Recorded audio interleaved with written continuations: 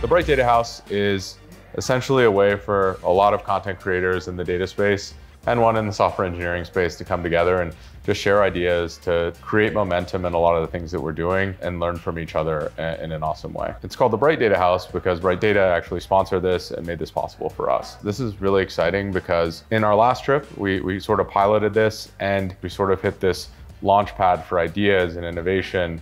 And we all saw how different everyone created content, how different everyone else viewed data. And this was a great way to shake things up, a great way to create value for the creators, but also in the longer term, create value for the people who consume our content because they're getting higher quality things, more informed things.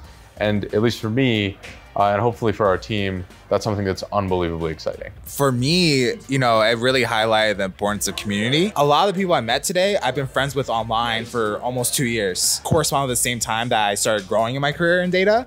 And so it's almost a little emotional meeting a lot of the people because I'm like, you've helped me out in my career so much and now I get to see you in person and also get to collaborate with you. I mean, this is like a really special group of people. Like Mark was saying, like, you know, a lot of these people like I've known online. We can't have like the quality of conversation that like even we were able to have on the couch here. It's it's hard to find people that are both content creators that are also data folks and uh, people who are generally interested in becoming like financially well informed, becoming like more productive, becoming healthier. And it's really hard to find that like outside of this kind of gathering. So, you know, I'm very grateful for companies like Bright Data who are, you know, willing to sponsor us to ensure that not only are we creating like really, you know, great content, but we're able to create these relationships that hopefully will translate um, to our audiences and to, you know, future collaborations. So Tina and I, we, we came together uh, almost, I think, six months ago, and we formed this company called Learn Media. And for us, that was a way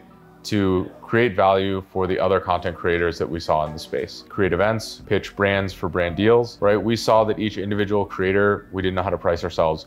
There was inefficient uh, information in the market.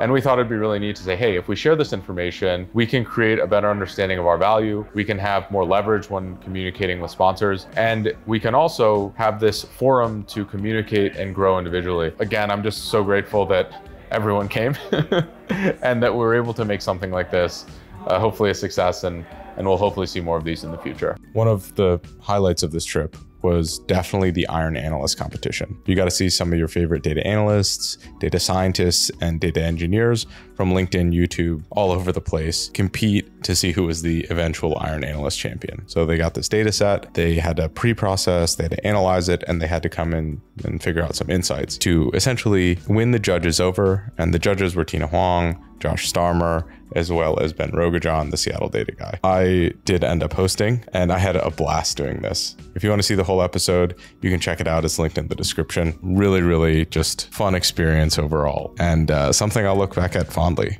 Maybe we'll do it again or something similar in the future.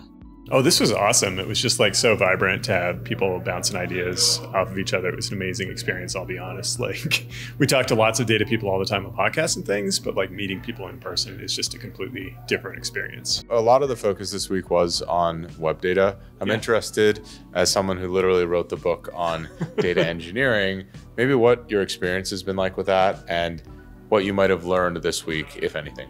So I'm actually going to give Bright Data a shout out. One thing we talk about quite a bit in our book is relying on managed services. And the point is that as a data engineer, most data engineers have too much to do. And so focus on using managed services to like get core things done, like data ingestion, and then focus on like the high value stuff that can't be fully automated, where you need to write code to actually make sense of it out of the data.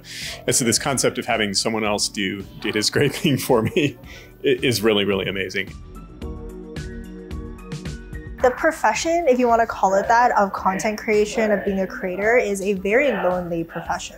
It really is. Because yes, there's lots of people following you and it feels like there's lots there's a lot of people, right? But as a creator, if you really think about it, what we do is we sit there and talk to a camera for hours at end by yourself. You really don't get the opportunity to talk to other creators about this. You're so much in your own head, the way that you perceive creation, and by putting everybody together, you're able to learn so much from each other. You feel so inspired by people as well. Some of us are full-time content creators, some of us are people who hold a job, some of us want to make more content, and by having all those experiences in the room together, you're much more able to make a decision of what you want to do for yourself. I've taken a little bit of a break and sort of been out of it, so it's been really good to like get back into it and also be around like such like-minded people that have like such passion and energy about like things that they do and things that they love. Because I mean, you'll just have one person present an idea and then you'll just spitball on that.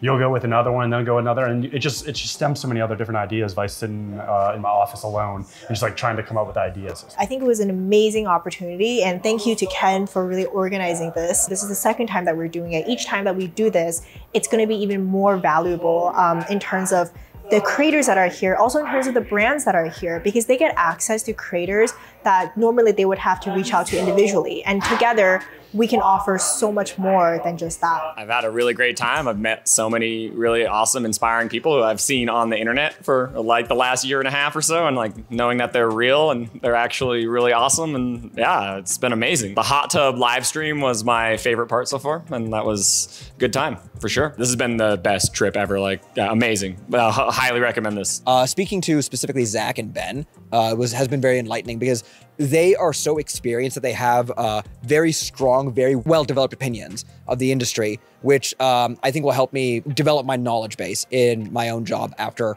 going back to Seattle. Uh, there's some actually like just great friendships that I'm like developed a lot more in this uh, meetup, and we actually got to make some great content as well.